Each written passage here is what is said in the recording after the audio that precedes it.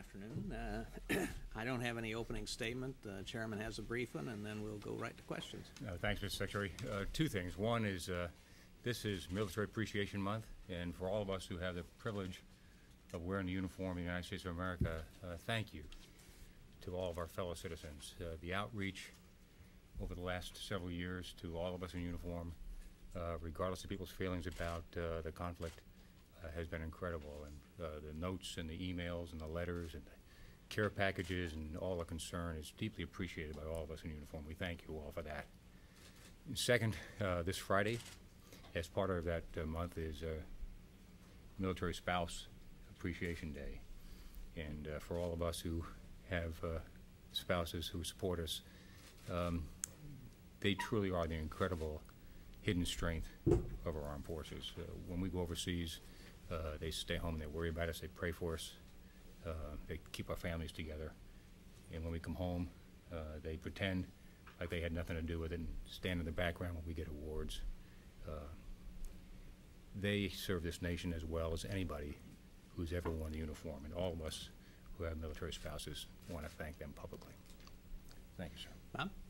Uh, Mr. Secretary, uh, you mentioned that General Petraeus and Ambassador Crocker uh, plan on giving you a- an assessment by September on where things stand with the surge in Iraq.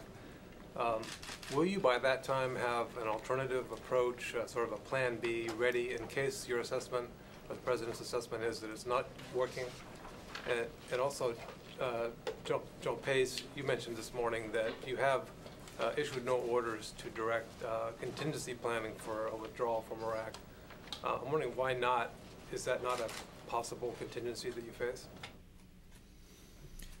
Well, I would say that, um, first of all, I, I suspect that whatever the evaluation in, in September will not lead to um, a precipitous um, decision or actions, um, but would point us in a new direction, uh, or either because the surge is working or because uh, the evaluation is uh, that it's not. I said a couple of months ago that uh, I would be irresponsible if I weren't if we weren't doing some thinking about alternatives.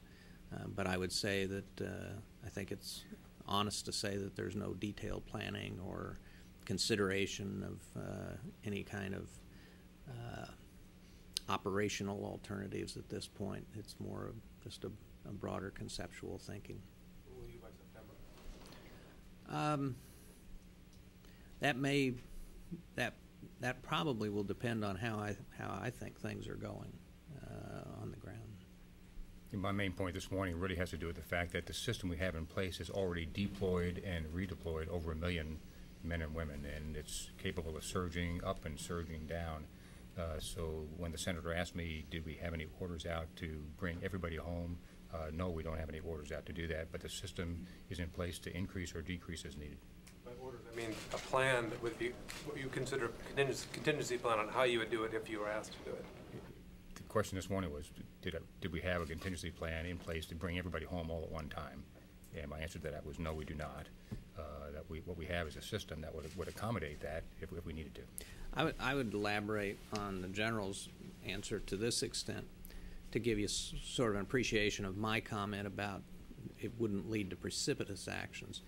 It will have taken us five full months to strengthen by five brigades, just because of the nature of the logistics and getting the equipment on ships and things like that. So this is, this is a mammoth undertaking, and uh, the Department of Defense, like a dinosaur, has no fine motor skills.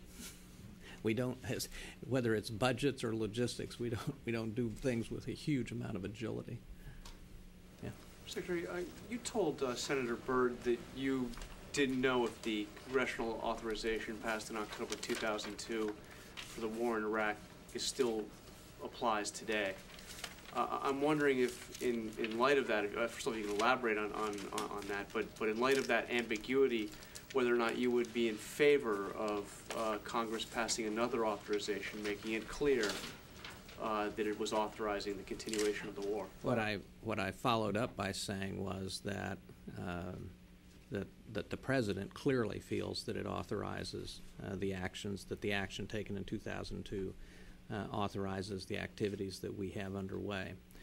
My answer was largely a product of the fact that I wasn't here in 2002. I don't know what the debate was about and the specifics of the debate. I don't know any of the legislative history of the resolution, and I'm sure not a constitutional lawyer. So that's that was what was behind my, my saying I didn't know the answer. My my question is, given that there is some ambiguity, and I mean, not just uh, in your answer today, but others have raised the question, given that Saddam Hussein is no longer in power, given that the authorization had a lot to do with weapons of mass destruction, given that, that there is disagreement on that, would you be in favor of a new authorization that would make it absolutely clear that this is a congressionally authorized? Well, I don't think that there's any ambiguity in the president's position. Um, today also in your testimony, you said that um, it's your belief that Al- Al-Qaeda has actually expanded its organization and capabilities. Could you tell us over what time period you mean? Because there's been an awful lot of um, uh, talk uh, touting the fact that three quarters of the known Al-Qaeda leadership has been captured or killed and that um, that organization was put into a, a disarray at least after the Afghan war. So what, what's the time period that they've reestablished themselves and established new linkages in, in Africa? My, my sense of it is that it's been within the last couple of years, and particularly within the last year or so, uh, that we've seen um, more defined training capabilities in um, uh, Western Pakistan, uh, along with Taliban uh, safe havens there. Um, I've tried to break it out and have the intelligence folks break it out for me in three categories. Places where we know that there are Al Qaeda cells and Al Qaeda planning going on, Al Qaeda organization is in place. Um, countries where there are um, terrorist organizations that are not Al Qaeda but affiliated with Al Qaeda.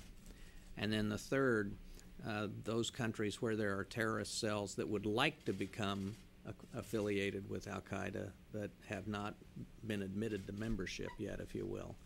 So there's kind of three different levels of activity. Uh, and it covers uh, most of the countries of the Middle East. It uh, covers several countries in Europe uh, and so on. I think the first category, Americans watching this might say, if we know where they're planning and know where they're training, why aren't we going after them? Well, we where we get um, uh, actionable intelligence, uh, we do try to uh, uh, go after them. We have the necessary legal authorities, uh, and and knowing that they're knowing that they are active is different than knowing where they are. Mr. Secretary, last week, a Pentagon mental health survey team came out with its report, and it said that those soldiers and Marines with repeated deployments in high combat areas, about 30% of them test positive for mental health problems. And it recommended more time off for those in high levels of combat. It said for every three months they're in combat, they should get one month off in theater. Um, and the, the team said that recommendation was not accepted.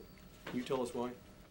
I don't know the specific reasons why it wasn't. I wasn't aware of that uh, of that specific recommendation. I do know that uh, uh, in the report that was briefed to you all last week by the internal review group that Togo West and Jack Marsh um, chaired, co-chaired, that uh, there was a fair amount of ten- attention on uh, the mental health issues coming out of the war, both and, and and brain injury as well. Uh, one of their recommendations is a Center for Excellence for dealing with uh, traumatic brain injury and um, um, uh, post-traumatic stress. Um, and we're looking very carefully at that. I was just at the Center for the Intrepid on on uh, Thursday afternoon, and that may be a good model for combining private and public research and rehabilitation and care. I've been told that there aren't uh, that there aren't enough um, mental health uh, caregivers in the military medical system. That it's hard to pay competitive um, salaries uh, for those folks. Talked a little bit about this with some of the doctors at Brooke Army Hospital, which I visited um, on Friday. Uh, and so I think we have to look at all of these things and see how we take care of these young people. And as, as I said in the hearing in response to a question from Senator Murray this morning, um, we also need to be more aggressive in getting the word to the troops that, that these, particularly some of these mental health problems, uh, are more common than we would like, than we would like. That they that they are not a sign of weakness, but rather something that is treatable and that we want to be very much involved in, in caring for them. So, all I can tell you in answer, I don't know the answer to three months on, one month off, but we are taking the mental health uh, situation uh, coming out of this conflict very seriously. But these are folks who are still in combat. I understand. I understand what it is. I, So the question is, can they get more time off? Is that something you look into? well, one of the things that one of the things that we've already done is is arrange that that units that are deploying early or more frequently are going to get an administrative uh, uh, leave, uh, an administrative time off, uh, commensurate with the time of their deployment, uh, so that they will get an extra they will get extra time off. Now, how that fits in with this recommendation, I'd, I'd have to wait and see. Uh, Mr. Secretary, as you know, the Iraqi parliament is considering a two-month-long summer break. And I wanted to ask what effect do you think that break would have in uh, showing political and security progress uh, by September? Well, I, I uh, was pretty blunt uh, when I was uh, in Baghdad um, a couple of weeks ago, uh, that in saying to those with whom I was speaking that that the purpose of this surge is to is to help buy the Iraqis uh, time for reconciliation, and that uh, and I was uh, blunt enough to say that every day that we're buying them for reconciliation is being paid for uh, with American blood, and that the idea of of the legislature going out for the Council of Representatives going out for two months, in my personal opinion, was unacceptable while we were continuing to pay that price. And were they receptive to that? And um, Well, among others, the Prime Minister said, you know, the Council of Representatives is an independent uh, branch of government. I can't tell them what to do. But I came away with a very uh, distinct feeling uh, that uh, the Presidential Council, the Prime Minister, and others would be uh, trying to persuade the Council of Representatives not to do that. Mr. Secretary, a couple of weeks ago when there was a debate about the White House looking for a war czar, you seemed to describe it as much ado about nothing. You said that if Stephen Hadley had the time, that's what he would do. Given that J.D. Crouch is leaving, is it now time to look for a war czar again, or as the Secretary of Defense, do you become the de facto war czar, and is that a good thing? Well, I don't want to be a czar of anything. um, the um, the you know they will. It's clearly going to be tough to replace JD. I'm, I think everybody in the government who works national security has very high regard for JD and the role he's played uh, in the government. So replacing him will not be easy.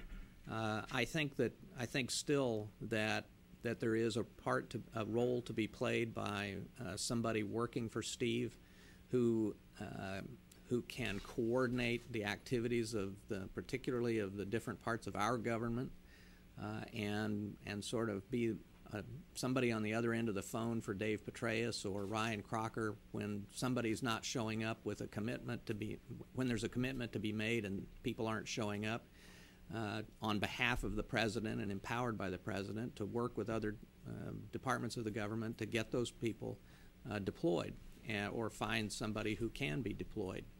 And I think there's still a role for that. Uh, JD has covered an enormous range of issues, uh, far from limited to Iraq. So I think that uh, Um, so I think what we're looking for really is somebody who I, I sort of think of it as a 911 number for Petraeus and Crocker.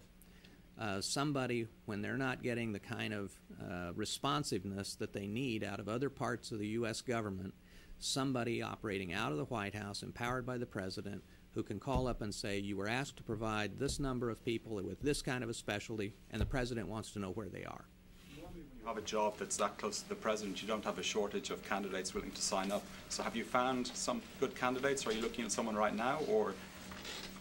Well, I think first of all, um, for this kind of a, I, you know, it's a it's a problem, frankly, that I think the the administration will face in general as we go forward, um, and it's and it's a concern that I have here in the Department of Defense. There is roughly 20 months left in this administration to ask somebody to come in, to ask them to go through a uh, divestiture process in terms of their personal uh, uh, financial holdings, to go through the entire investigative process, and by the time they're finally on board to spend uh, 15 months doing the job, uh, it's a challenge finding people who are willing to do something for that period of time. And independent of that, with the Department of Defense, then when you add a confirmation process on top of all of that, uh, it's a real challenge. And and so I think that. Um, I think finding somebody who is willing to do all of that for a finite for the kind of time that's available has been one of the challenges that Steve has faced. Yeah, Question for General Pace. Um, Iran's involvement in Iraq. April, we, we've now confirmed 69 EFP attacks inside Iraq, the highest level ever. Also that Iran uh, is now supporting some Sunni extremist elements inside Iraq. What's the trend line here? Is, is it going the wrong way in terms of Iran's involvement in Iraq? What do you see going on? Uh, the facts are what you stated. Uh, there were more uh, explosively formed uh, projectiles um, this month than any month in the past. Uh, to the best of our knowledge, uh, all of them are manufactured in Iran. Um, so that's not a, a good uh, a good trend. Uh, it still, though, uh, is not possible to point directly to who inside of Iran is supplying those or who has knowledge of those. So we need to be careful about what we know are facts and what we suppose from those facts.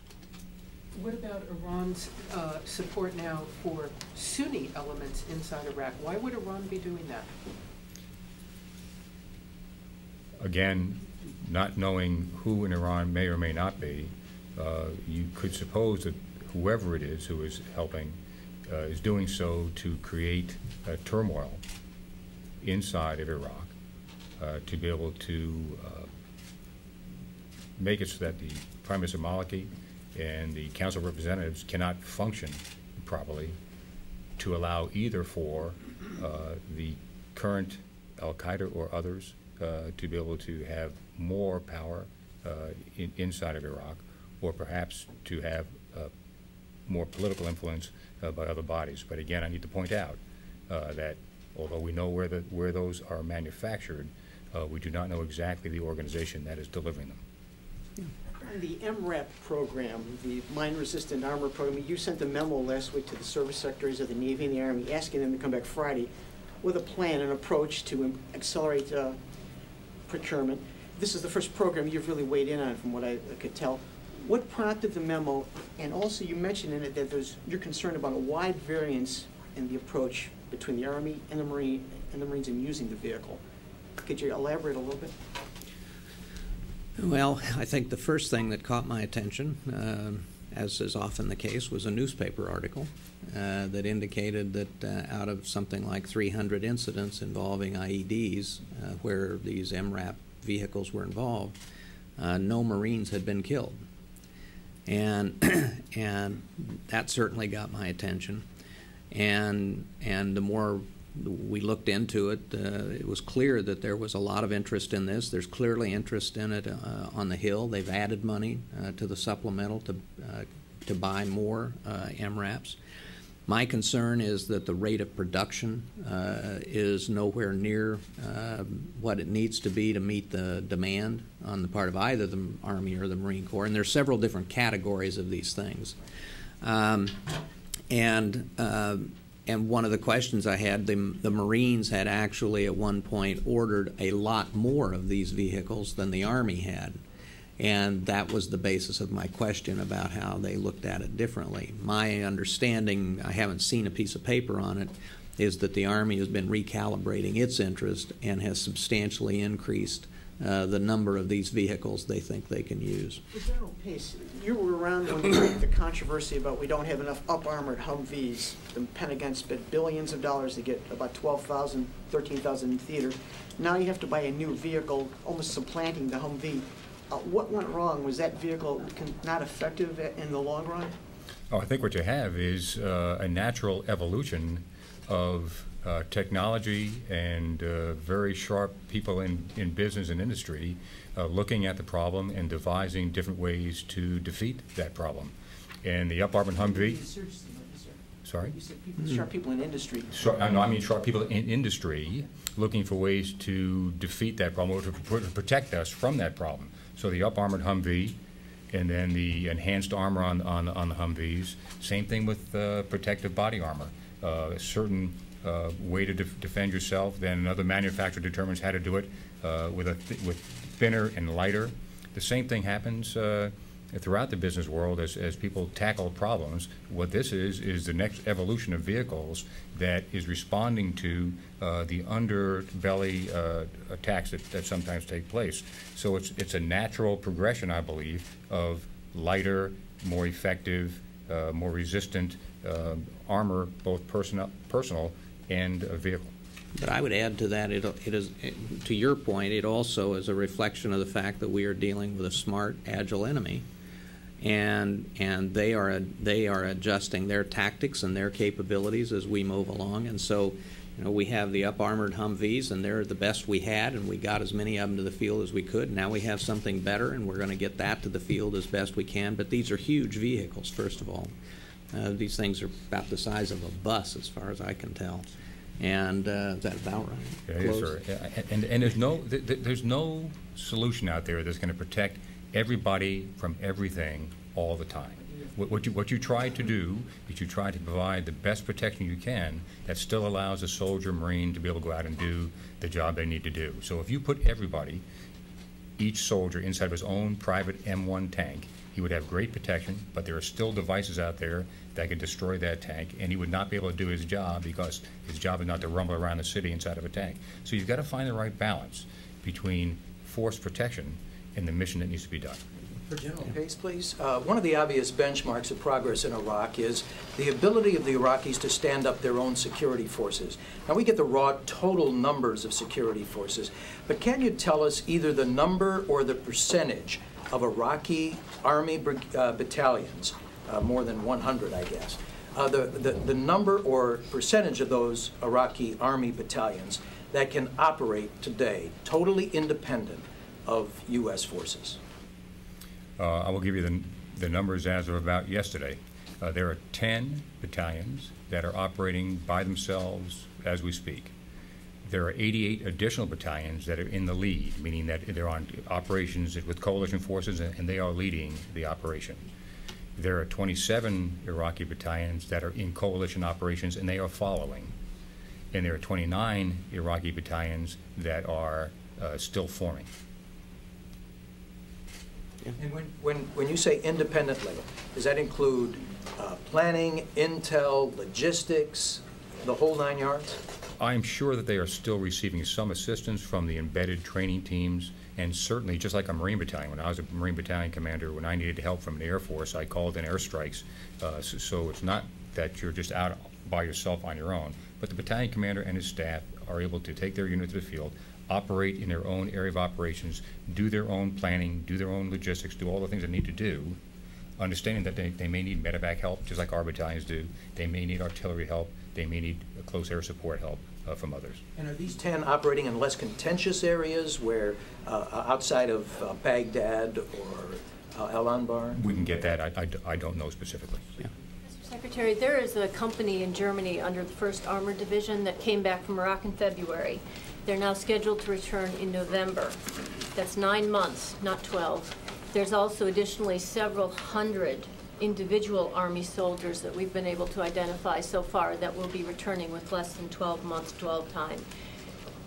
My understanding was that the whole point of extending these people to 15 months was so that they could have this 12 months dwell time at home. Can you explain this? No, I can't, and I'll be very interested to find out more about that. Um, there were two units, uh, that one active and one reserve, that were um, exempted from the extension because they had already been extended to 16 months. It sounds like these are different units than those. And, I'm sorry? That is correct, sir. This is, Okay. has nothing And, and we just need to find out about that because um, we, I I made it clear that, uh, that people would not, would have uh, 12 months at home. Yeah. Um, You were asked a lot of questions today about the shortage of equipment by National Guard units Mhm. around the country, and you explained the, the plan for replenishing those inventories. But given the, the frustration expressed by the states uh, and um, the potential for a problem if there was a really catastrophic event, is, is there any consideration of accelerating the uh, acquisition of additional equipment for guard units? And you also talked about funding for, to restore to the, about the 75, 76 percent level. Why not 100 percent? Is it, is it just a question of money? What, what more could or should be done there? Well, for openers, um, as I indicated at the hearing, historically, going back 10 years to well before uh, 9/11, uh, the average uh, equipment on hand for these units as an, as a national average was somewhere between uh, 75 and 80 percent. Uh, in the last few years, it's been around 70 percent. This year, it drops off, or in, you know, this year it drops off to 56 percent. what I told Senator Mikulski uh, was that we're prepared to sit down and take a look at this and and look at it on a state by state basis and um, and see if there's more we should be doing. Uh, and if there is a way to uh, to make sure that the capacity of the National Guard to respond to uh, disasters at home um, is what it should be. Now, the the piece of this that that um, did not come out in the hearing is that thanks to uh, General Blum, uh, there are cooperative arrangements in place so that, for example, in the case of Kansas, they could have drawn up drawn on up to 70,000 National Guardsmen in the surrounding states, in the neighboring states of Kansas, plus all of their equipment. So their capacity to deal not only with one disaster but two or three is there because of these cooperative arrangements uh, that General Blum has has uh, worked with the adjutants general to create that allows them to uh, bring additional equipment in and so on. This is what happened after Katrina with the National Guard and and surrounding states. Uh, the National Guard has paid, the National Bureau uh, has paid particular attention to the cap capability of the National Guard in the eight states that are hurricane prone uh, in terms of their equipment and, and whether they have the capacity to respond and, and are paying attention on a priority basis to ensure that they're able to do so. But what I indicated to Senator Mikulski is we're, we're perfectly willing to sit down and look at this and, and work with the states. We understand the concerns of the governors. Uh, they're legitimate concerns, and, and uh, we want to make sure that, uh, that the Guard is able to respond. Uh, you want to add anything to that? Sure, that's right on, thank you. I guess, I mean, the key point, I just want those, I mean, can, I mean, is this acquisition of equipment being put on a faster track, or can it be on a faster track, or is it, is this basically as fast as you can go? Well, I, that's the question I don't have the answer to. Uh, we have, as I told the, as I told the Senate committee, we have um, uh, $22 billion for the Army Reserve, Army National Guard alone um, between 2008 and 2013 uh, for equipment. We have several billion dollars in the 08 budget. We have a total of something like 32 or 33 billion dollars for all of the Guard and Reserve. So if General Blum is up there saying our overall unmet need is $40 billion, uh, we're talking about sums of money that are actually fairly close to that if you take the 32 or 36 billion dollars, depending on the time frame that uh, that you have. All I'm saying is uh, I'm willing to sit down with people and see if there's some way that, uh, if it's necessary, that we can accelerate some of that. Dr. Uh, this morning you talked about uh, achieving a bipartisan agreement about troop levels in Iraq. Uh, I wonder if you could expand upon that a little bit more about at what time, uh, how soon does this sort of agreement need to be reached, and, and what, ca- what needs to happen in Washington to try to reach an agreement, given the My, my formative experience in Washington was a, an unwritten bipartisan consensus through nine successive presidencies on how to deal with the Soviet Union through a policy of containment. There were huge disagreements over tactics, whether, if you want to call the Vietnam War a tactic, um, but or the Korean War for that matter, but how to deal with Soviet Union. More emphasis on arms control, more emphasis on an arms buildup. But fundamental, the fundamental strategy, on that fundamental strategy, there was broad bipartisan agreement. There was never anything written down about it, and I don't think that there needs to. I'm what I'm not. I'm not talking about some kind of summit where everybody sits down and signs up and says this is the strategy for Iraq going forward. But I think rather a a, a a broad bipartisan agreement that, for, on two points. First of all, that it's important to defend this country uh, again on the extremist 10 yard line and not on our 10 yard line. That has big implications in terms of how our forces are deployed, the kind of forces we buy, the kinds of relationships we have internationally, because it means we're over there trying to deal with the problem, not over here. The other part of it is that in a country that's been through the problems that Iraq has had, um, the fact that there is probably, assuming we have some kind of a long term strategic agreement or security agreement with the Iraqi government uh, that acknowledges their sovereignty and so on, but still provides the uh, assistance of some level of U.S. troops in Iraq for a protracted period of time. Whether that's 25,000 troops or what that number is, I have no idea in terms of intelligence help and logistics, um, air support, who knows what it might be. It would have to be worked out with the Iraqis. But in terms of providing a stabilizing presence, particularly given uh, the behavior and attitudes of Iran on the eastern border, the Syrians on the northern and western borders, uh, and the overall instability in the region, my view is, my personal view is, this would be a stabilizing, uh, having a stabilizing effect and I think it's something that uh, we need to talk about. Obviously, it's a matter where the Iraqi government has a big say as well. Secretary, Last question. Were you yeah. surprised to read in the Washington Post this morning the headlines that said that commanders in Iraq see the surge going into 08? That uh, General Odierno was quoted as saying that he thought the surge would go into spring of next year. Is there a difference of opinion between you, General Petraeus, and General Odierno about how long the surge will last?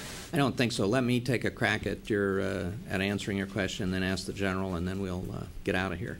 Um, I think that it's tied in with the announcement of the of the deployment orders that were sent to 35,000 troops, and that what is what they are talking about is that we have the capacity with these announcements to sustain the surge into next spring, into next March or April one of the results of my decision for a 15 month uh, tour deployed and 12 months at home, in addition to uh, allowing us to sustain that presence for that period of time, is that it gives us the opportunity to notify troops and their, and their families at the maximum possible time in advance uh, of when they might have to deploy. They may or may not have to, but they know that their next deployment will not be before, say, December. So they know they've got seven months uh, to plan. It also gives their units time to train and, and do all the right things. So I, I think that there's a little confusion in terms of what our capacity is and in terms of what will actually be needed. In my own view, and I think the view of General Petraeus and General Pace, and I suspect of General Odierno as well, is that the evaluation in September will give us uh, will be an important moment in terms of deciding whether to take advantage of the capacity that we have. Yeah, I think that's exactly right. We checked uh, with General Odierno today, uh, as you expect we would, to find out, uh, you know, what did the general mean to say. And uh, he said basically what the secretary just said, which is uh, his intent was to forecast that, if needed, to the decisions that have been made would allow us to keep the current surge up until about April of next year, based on the decisions made today. But the Secretary and I were with uh, General Odierno, uh, General Petraeus, Admiral Fallon about three weeks ago in Baghdad. We sat down, we had a very long conversation. There's no doubt in my mind that we all understand exactly how this process is going to work. We're going to get to September. We're going to take a look at where we are. Uh, we're going to make recommendations. Uh, Secretary and the President are going to make decisions, and uh, we'll carry it out from there. But this positions us to be able to um, either sustain or not based on uh, what the decisions are at the time. Just a quick follow-up. Is it possible that when you get, you said you, you expect to know by September, you have at least have an idea whether it's working or not. Is it possible that in September you could decide that you don't know if it's working yet and you need more time? I don't know what'll happen in December. We'll wait until, or September.